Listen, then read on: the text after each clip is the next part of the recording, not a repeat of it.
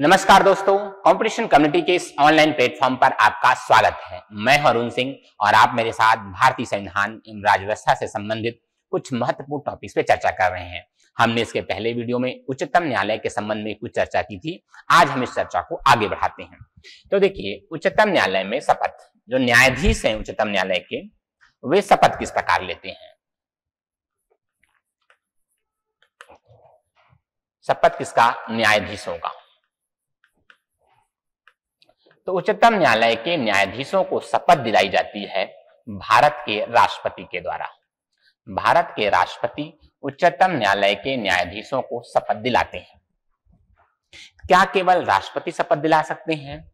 तो राष्ट्रपति या राष्ट्रपति के द्वारा अधिकृत कोई व्यक्ति क्या कर सकता है?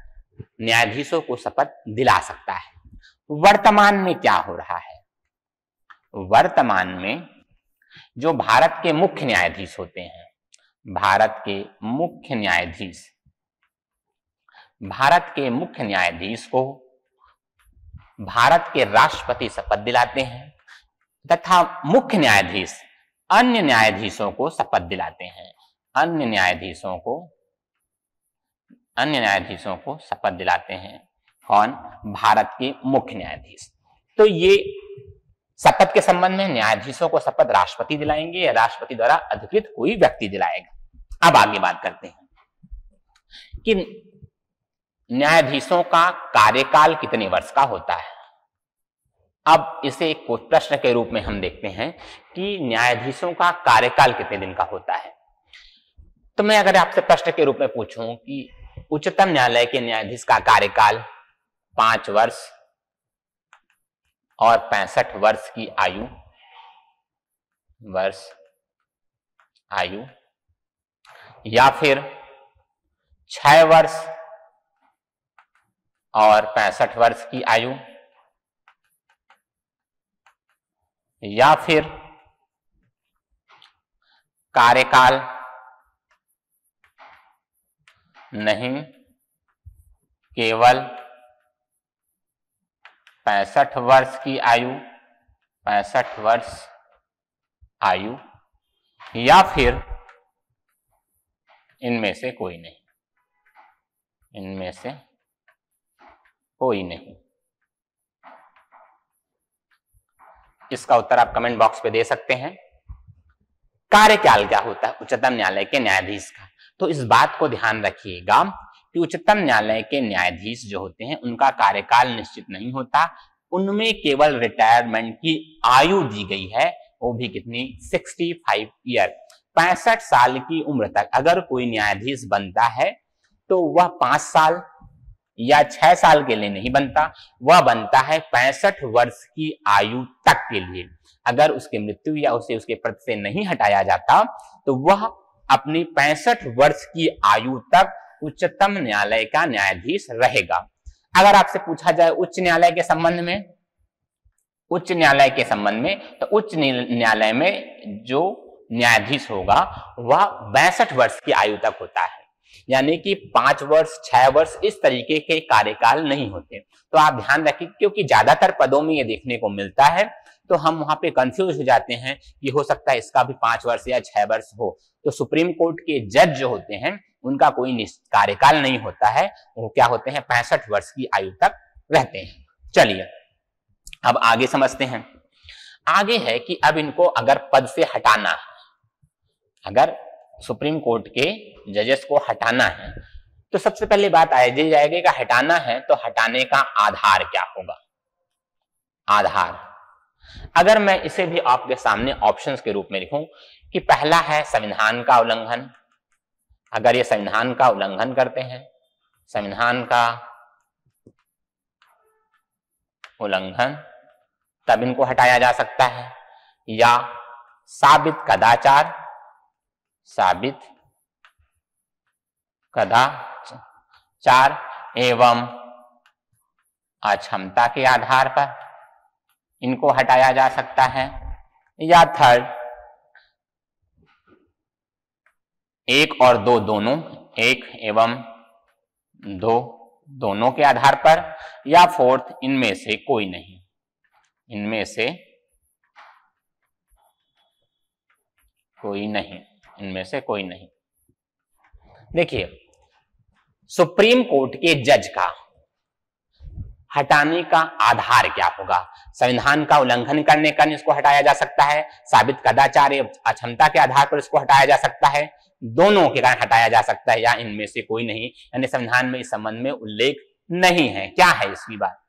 तो देखिए, इस बात का ध्यान रखिए कि सुप्रीम कोर्ट के जज को केवल हटाने का आधार यह संविधान साबित कदाचार या अक्षमता के आधार पर हटाया जा सकता है। संविधान के उल्लंघन की कंडीशन उसमें नहीं है तो साबित कदाचार एवं अक्षमता के आधार पर उच्चतम न्यायालय के न्यायाधीश को हटाया जा सकता है। तो इस बात को बेहतर तरीके से आप याद रखिएगा। अब हटाने की प्रक्रिया कैसे होती है? देखिए, प्रक्रिया स्टार्ट हो सकती है दोनों ही जगहों से। यानी संसद के दोनों सदनों से प्रक्रिया क्या हो सकती है? प्रारंभ हो सकती है दोनों सदनों। दोनों सदनों में किसी भी सदन से पहले यह प्रक्रिया प्रारंभ हो सकती है। अगर यह प्रक्रिया लोकसभा में स्टार्ट करनी है, लोकसभा में स्टार्ट करनी है तो लोकसभा के सौ सदस्य, लोकसभा के सौ सदस्य अपने अध्यक्ष को लिखित रूप में ऐसा देंगे कि राष्ट्रपति पर कदाचार या अक्षमता का आरोप लगाएँगे वे, और सौ सदस्य अपने सभापति को ऐसा पत्र लिखेंगे, अपने अध्यक्ष को, लोकसभा में अध्यक्ष को। और राज्यसभा के केस में, राज्यसभा में, राज्यसभा के 50 सदस्य, अगर राज्यसभा में पहले स्टार्ट हो रहा है तो 50 सदस्य अपने सभापति को ऐसा पत्र लिखेंगे। ठीक। अब मेरा प्रश्न यहाँ पर यह है कि लोकसभा के 100 सदस्य और राज्यसभा के 50 सदस्य अपने अध्यक्ष और सभापति को हटाने, उच्चतम न्यायालय के न्यायाधीश को हटाने के लिए लिखित रूप में आवेदन करेंगे, यह लिखा कहाँ पर गया है? यह, ये बातें कि 100 सदस्य लिखित रूप में देंगे 50 सदस्य देंगे राज्यसभा के, यह लिखा कहाँ गया है? पहला, संविधान के अनुच्छेद, संविधान के अनुच्छेद 124 में, या फिर संविधान के अनुच्छेद 126 में, या फिर संविधान के अनुच्छेद 128 में, या फिर इनमें से कोई नहीं। इनमें से कोई नहीं। देखिए, हमने ये कहा, ये सिंपल सी बात है कि लोकसभा के सौ सदस्य, राज्यसभा के या सौ सदस्य, जहाँ भी पहले सदस्य क्या होना है, सुप्रीम कोर्ट के जज को हटाना है, वहाँ के इतने सदस्य अपने अध्यक्ष को यह आवेदन करेंगे। पर यह बात लिखी कहाँ गई है? तो ध्यान रखिएगा यह बात संविधान में नहीं लिखी गई है। यह बात संविधान में नहीं लिखी गई है। न्यायाधीशों के लिए, न्यायाधीश न्यायाधीश जाँच अधिनियम न्यायाधीश, जाँच अधिनियम 1968 बनाया गया। और इस न्यायाधीश जाँच अधिनियम में यह बताया गया है कि लोकसभा के 100 सदस्य या राज्यसभा के 50 सदस्य लिखित रूप में अपने अध्यक्ष और सभापति को ऐसा आवेदन देते हैं। तो क्या कर सकते हैं? अध्यक्ष या सभापति। देखिए, इस कंडीशन में होगा क्या कि अगर ऐसा प्रस्ताव देते तो अध्यक्ष और सभापति इस प्रस्ताव को स्वीकार भी कर सकते हैं और अस्वीकार भी कर सकते हैं। यदि ये इस प्रस्ताव को स्वीकार करते हैं, अगर उन्होंने स्वीकार किया तो क्या बनेगी? एक बनेगी जाँच समिति। एक बनेगी जाँच समिति। अब इस जाँच समिति में कौन होगा? देखिए, इस जाँच समिति में होंगे तीन लोग। एक मुख्य न्यायाधीश, भारत के मुख्य न्यायाधीश होंगे। अगर मुख्य न्यायाधीश के ऊपर लग रहा है आरोप तो कोई न्यायाधीश, वरिष्ठ न्यायाधीश होगा। और अगर अन्य न्यायाधीश पर लग रहा है तो कौन होगा? भारत के मुख्य न्यायाधीश। एक होंगे। ये देखिए, ये कहाँ के होंगे? उच्चतम न्यायालय के। उच्चतम न्यायालय के। दूसरे होंगे उच्च न्यायालय के न्याय, मुख्य न्यायाधीश। किसी भी उच्च न्यायालय, किसी उच्च न्यायालय के मुख्य न्यायाधीश। किसी उच्च न्यायालय के मुख्य न्यायाधीश होंगे। और थर्ड कोई विधि व्यक्ता जो विधि का विशेषज्ञ होगा, वह एक व्यक्ति होगा। तो ये तीन लोगों की एक जाँच समिति बनेगी। किस आधार पर जब लोकसभा के 100 या राज्यसभा के 50 सदस्यों ने ऐसा अपने अध्यक्ष और सभापति को कहा, ऐसे प्रस्ताव को अध्यक्ष सभापति ने स्वीकार किया और उसके बाद ये बनी जाँच समिति। अब यह जाँच समिति अगर कहती है कि जो आरोप लगाए गए हैं और कौन सा आरोप लग सकता है कदाचार का या फिर अक्षमता का, अगर वो इसको क्या करते हैं, ये स्वीकार करते हैं कि हाँ उनके ऊपर जो आरोप लगाया गया है, उसमें सत्यता है, तब यह प्रक्रिया स्टार्ट होगी कहाँ पर? संसद में। अब यह प्रक्रिया कहाँ स्टार्ट होगी? संसद में स्टार्ट होगी। ठीक, अब प्रश्न यह है कि संसद में यह प्रस्ताव किस प्रकार पास होना चाहिए? कुल सदस्यों के, कुल सदस्यों के, कुल सदस्यों के बहुमत से। अगर उच्चतम न्यायालय के न्यायाधीश को हटाना है तो संसद में यह प्रस्ताव कैसे पास होना चाहिए? कुल सदस्यों के बहुमत से या कुल सदस्यों के दो बटा तीन बहुमत से, या फिर या फिर कुल सदस्यों के बहुमत, कुल सदस्यों के बहुमत तथा उपस्थित उपस्थित और मतदान करने वालों का दो तिहाई इससे पास होगा या फिर इनमें से कोई नहीं।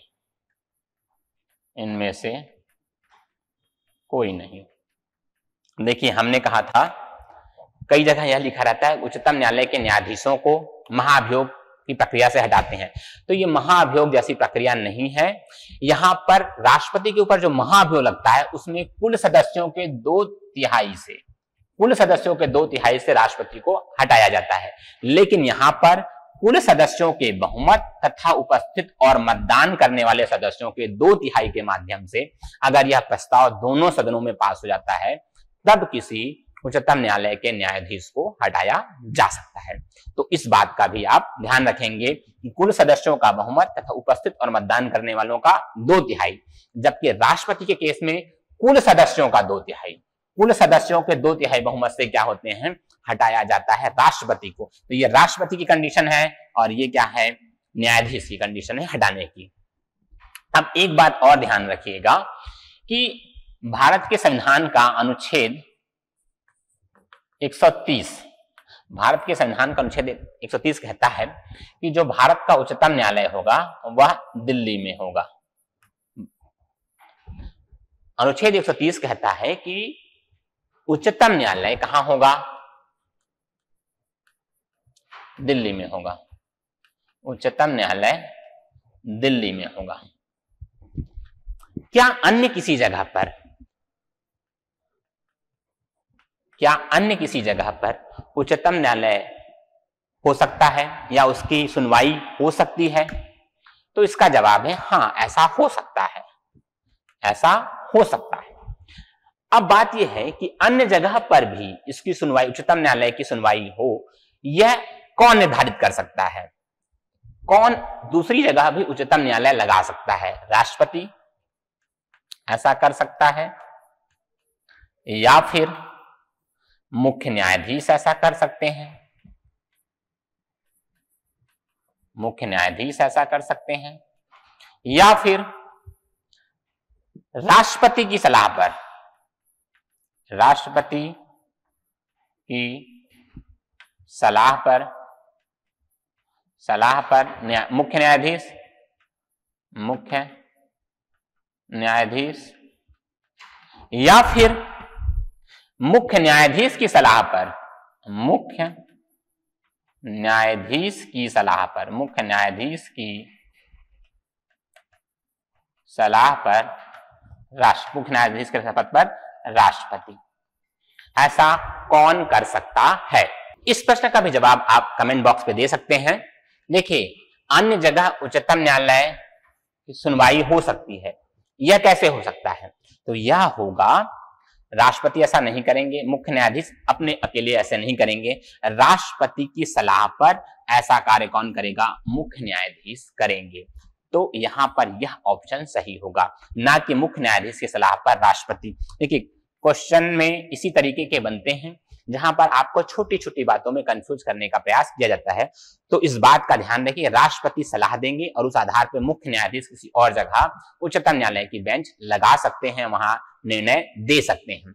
तो ये कुछ और बातें थी जो हमने उच्चतम न्यायालय के संबंध में देखी। आगे की वीडियो में और इसी प्रकार के जो कंफ्यूज करने वाले पॉइंट है, जहाँ पर एग्जामिनर हमें गलतियाँ कराने का प्रयास करता है, वैसे पॉइंट को हम समझते रहेंगे। धन्यवाद।